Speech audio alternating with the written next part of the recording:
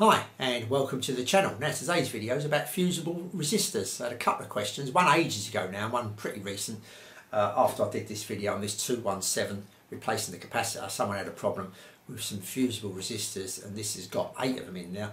Uh, what to do, uh, how to replace it. Now I'm no expert, don't get me, I'm not an expert here, you know, I just want to make sure you know that. And what I did with this is maybe not what you're going to do with your one, I just want to show you what I did with this recently.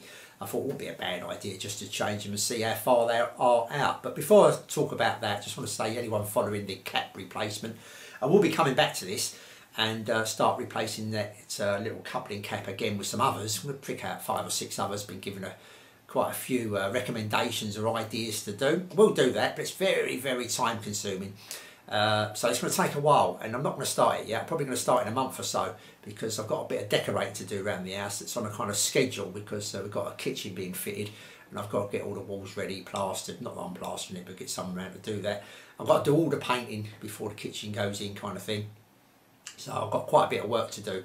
I've got some wallpaper stripping and all that kind of stuff in the kitchen, so uh, I've done a bore you all with it, but it's going to take time. And I'm on a schedule, so that's going to come first. If I get a bit of spare time, I may sing up an odd video that's going to take me five or ten minutes to put together, you know, an hour or so maybe. But uh, yeah, changing these caps is time consuming, very time consuming. Uh, it took me about six or seven days last time. So I will come back to that, definitely going to come back to that. It's just a bit down the road a little bit. Okay, so today is about changing the resistors, the fusible resistors in this particular unit. Now, people, uh, two people, had two questions, that's all, not people. Um, said, what would you do? Well, I would always say like for like, no matter what it is. If you can get the same transistor that's blown or the same capacitor that's blown exactly the same, all that kind of stuff, like for like. But it's not always the case in some of these older units. Some of these older units, you can't get the exact value fusible resistor. Um, but uh, you, you, can replace, you know, the question was really, can I replace a fusible resistor with a normal resistor? And the answer is yes, you can do. Uh, but um, there is some obviously drawbacks here. First of all, uh, it's not going to be fusible. So for anything shorting out or anything that happens that that particular resistor is protecting is going to cause major damage. You know what I mean? You'll probably end up blowing the output transistors or something like that, where that fusible resistor hopefully would kick in if it's drawing too much current in that circuit, that part of the circuit would kick in and go open circuit and stop that happening. Uh, so if you're going to replace one of those uh, with a normal resistor, you're not going to have that protection. There is other people saying you could probably put the resistor in with a fuse as well in series and all that kind of stuff. Gets a bit complicated and gets a bit uh, a bit big as well. You know, you're going to take up quite a bit of space. So um, I'm going to show you what I did with this. I'm not really worried about putting fusible resistors in here. Hopefully it's not going to blow up. I'm, I'm taking a bit of a gamble really. It's a bit like a life insurance really I suppose or insurance on your house or anything like that. Uh, if you don't do it the correct way or don't take out the insurance and obviously something goes wrong it's going to cost you kind of thing. So it's the same with this, you know, the person asked you, I said, well try and get a fusible resistor. That would be the best bet I think to go down because then you've got the insurance if it, you know, if it suddenly draws too much current or something like that happens, you've got some kind of backup there, you've got, you know, something that's going to protect it with no fusible resistor, you, you're not, and it's going to kind of kind of blow up kind of thing. You're going to cause more damage. It's not going to blow up. It's not, it's not going to suddenly fly off and hit the ceiling, but um, that can happen. Like you know what I mean. And why would you change a fusible resistor? There's obviously something gone wrong with it. And over age, these resistors. Uh, do go open circuit. I had one on the Sony uh, STR3, I think, that uh, receiver I'd done a review on. I had a, a open circuit. One of the channels had gone on the, uh, you know, no sound from one channel and it was a fusible resistor. Quite a common fault on that receiver, quite a common fault. Uh, these are supposed to be a bit better actually. I've been reading, like, I do go around and read all reviews and articles and all that before I put the video up. Ain't a five minute job. Um, people saying these are more reliable resistors in here and probably don't need change, but if they do, obviously need to change them.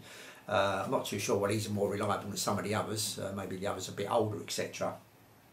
But um, yeah, no, try and get the uh, fusible resistor you require, I would say. That would be my advice. To, you know, don't do what I've done here. I've, I've changed it for normal resistors. I say normal, I've, I've upped it to, these were uh, half a watt fusible resistors. I've upped it to one watt metal film resistors, um, you know, just to cover myself kind of thing. But now I've got no protection. I'm, I'm taking a bit of a gamble, but I'm getting old.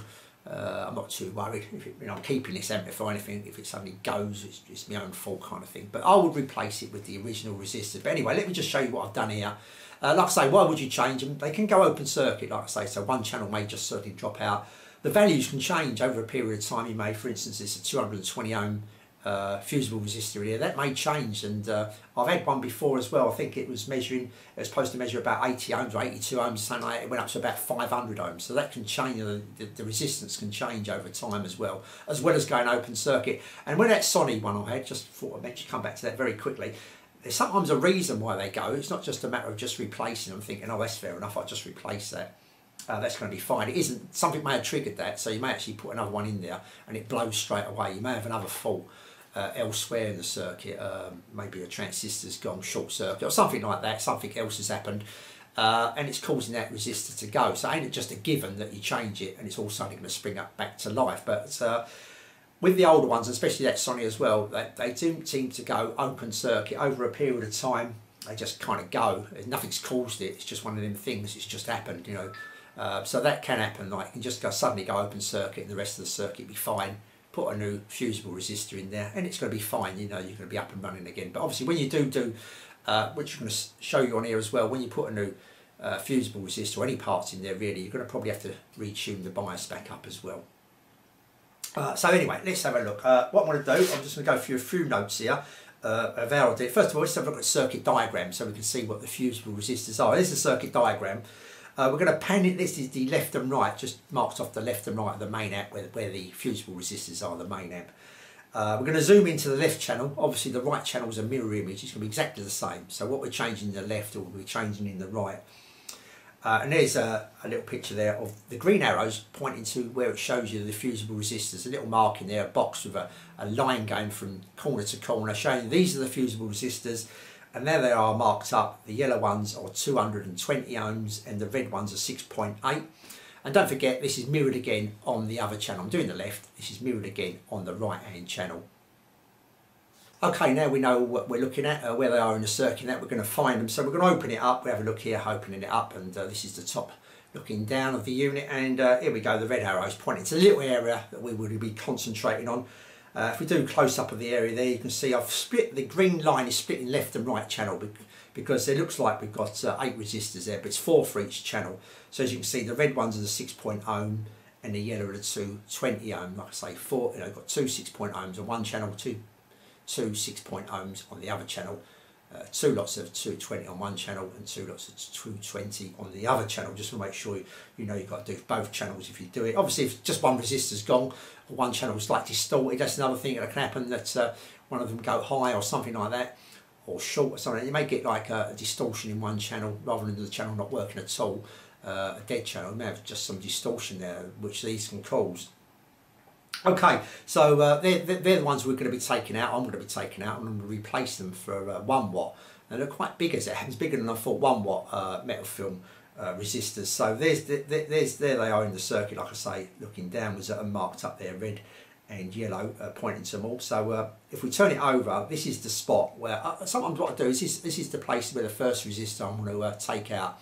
And I've marked it there, as you can see uh, with a little black dot each side. So uh, when I, you know, I found out where it is, matched it up from side to side kind of thing. And um, now I'm going to get my soldering iron and unsolder. But I mark them little dots, so I know exactly where I'm going to come in and desolder. Otherwise, uh, we've lots of joints and lots of things on the circuit board close to each other. It's easy to get mixed up. You think you found where it is, you know where it is, you go and grab your soldering iron, you took your eye off the uh, circuit board, and when you come back, you're thinking, where was it? I've lost it already, kind of thing. So I kind of mark it sometimes just to know. Obviously, on a simpler board, I don't, but on something a bit more complicated, a bit more involved, I kind of mark it so I know where I'm coming in to do my desoldering.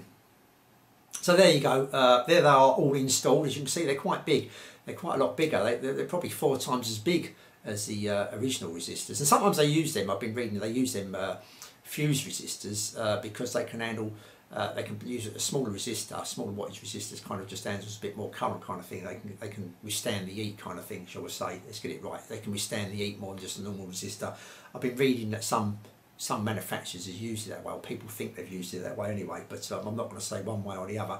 Uh, just one other thing I did read as well, that some people did say rather than these being like open circuit or reading too high or short circuit or something like that, you know, they can go over a period of time is that uh, some people saying once they heat up, they can change their resistance as well. I don't know how true that is. I haven't got any uh, any experience of that, but just in case as well, they can kind of start off at 220 ohms, and as the circuit gets hot and uh, hotter, They may come down or they may go up, they may fluctuate. So uh, that's another thing maybe to bear in mind. I don't know. I honestly don't know about that one. Okay, so uh, there they are installed anyway. So what I want to do now is just readjust them to pots for the DC bias. Uh, one was about 2 millivolts out and the other one was about 0.6. So uh, just changing them resistors. Um, didn't alter it a great deal, just a little bit, especially the 2 millivolts. So um, yeah, oh, the video of me actually doing that uh, while the uh, fuse resistors uh, were installed is uh, up the top there. I'll just give you a link to that, so just in case you wanted to do your Uh, and there we are, there's all the resistors I've taken out. And I did have one broken one. When I, you know, it weren't broken when I took it out, but as I grabbed hold of it with my fingers to pull it out, it kind of disintegrated, as you can see there. Um, and uh, obviously it still works, it still reads the right resistance, uh, it's just the casings come off there where they, where they put the kind of enamel case or whatever they put on it uh, with the bands on it, the colour bands, that's just come off, but it just shows you over time they kind of like fatigue a little bit. But uh, reading all these, actually read them all on the meter, and the 220 ohms, I kind of got a, a variation between about 220, 221, uh, right up to about 226. So they weren't far out at all. They, they was well within spec, and the 6.8 ohm ones they read correctly as well. So there's nothing wrong with these resistors here. I took them out for, for no apparent reason really. Uh, but I've done this video with it and talked about uh, fusible resistors and now I know that uh, they're kind of going to be okay. Like I say, I'm not protected, but uh, they're going to be spot on now. I've readjusted the bias, ready for when I uh, come and do these uh, capacitor tests with the next batch of capacitors I'm going to get. So that's it. So that's this little video talking about uh, fusible resistors. You're probably going to have quite a few opinions yourself down below. Maybe you want to leave them for other people to have a look at as well so they can get a gist if they've come over here to look at uh, replacing the fusible resistor. But again, my advice would be try and get the exact value uh, the exact fusible resistor you require. Best to get another fusible resistor and maybe not do what I've done. I've took a bit of a gamble here, but uh, if you can't get the exact value, you can maybe match um, a couple of up in series or parallel or something like that. I'm not too sure about parallel you won't be able to do, will you? No, but in series you'll be able to do, but in parallel you won't because you actually uh, be using um, twice the uh, the rating fuse wise kind of thing I should imagine. Uh, quickly thinking about it at the top of my head. Uh, but yeah, so uh, maybe um, try and get the correct one. If you can't, then maybe just go over to a normal resistor, knowing that you're throwing the dice, maybe taking a little bit of a gamble, that if something else went wrong, you're not going to be protected and you may blow a, maybe an output transistor or a couple of other bits and pieces in there that's uh, going to be a bit of an headache maybe to find replacements or repair. So um, yeah, again, my advice would be try and get the uh, proper resistors. Okay, that's it. Uh, until the next video, I'll say thanks for watching and I'll see you all soon.